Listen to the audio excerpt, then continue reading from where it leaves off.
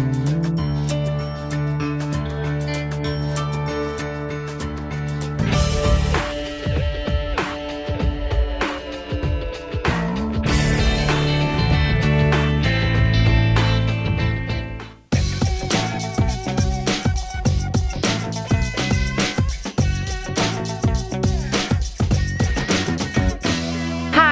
Simone here in New York City, and we are thrilled to be here at the Women's Media Center Annual Awards. Anne Hathaway is going to be the MC, and we're going to hear about a lot of different women who are going to be honored tonight for all their work uh, around the world, trying to empower women and uh, to get the word out about how important it is for women to be profiled and their voices to be heard more in the media.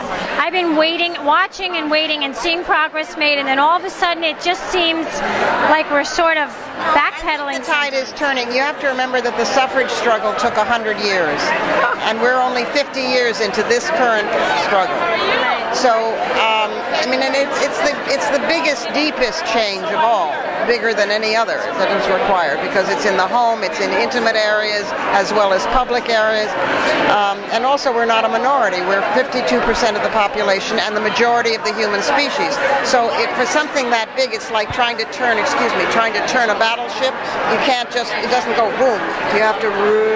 Right. But it is happening. But the good news is 20 women in the Senate. The good news is the first Asian American, the first lesbian, the first, um, uh, New Hampshire has an entire female leadership team.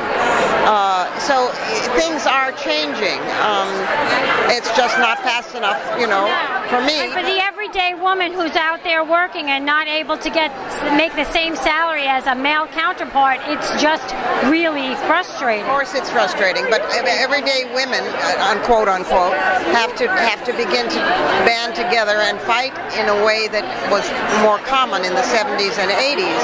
Because if they if they lodge, excuse me, class action lawsuits, if they make if they make noise, it's if you know it's the squeaky wheel.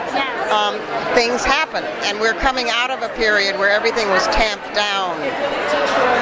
I think now there's an outrageousness beginning to happen. Aside from women in the media, what advice would you give to women in general to just try and, and get past the well, stumbling blocks? One of the things that we created was the Progressive Women's Voices Media Leadership Training Program, and we think that that is the model for women succeeding in whatever field they are because inevitably you will need media, you'll need visibility, you'll need social media, all of that. And so what you have to do is groom yourself to be confident, uh, to develop your contacts, to develop, uh, as Leslie would say, Leslie Grossman would say, your entourage so that you have a support support system. So I think that we really haven't done enough of that. Too many women feel that they're just out there on their own without any backup. So I think the more we uh, uh, convene our resources and our strength and support each other, I think that's the way of the future. And always say yes.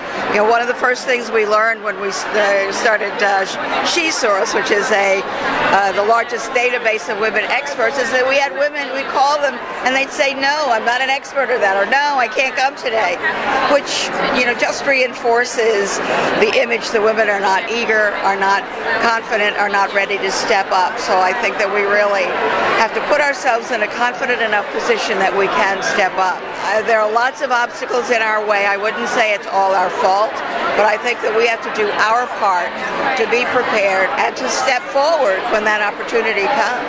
I do think that women can tend to hold themselves back and, and, and can tend to be afraid to go for it and take risks. I mean, women, I think in many ways have so much more at stake when, when women have kids and the sacrifices they've made. But I think that we're starting to see this incredible change that's happening. We're seeing more and more women taking risks, and those women are really becoming role models, and hopefully they'll inspire legions more women to go out of their comfort zone and take that risk. You know, it's great learning about Women Centric. We are being honored for this Sisterhood is Powerful award.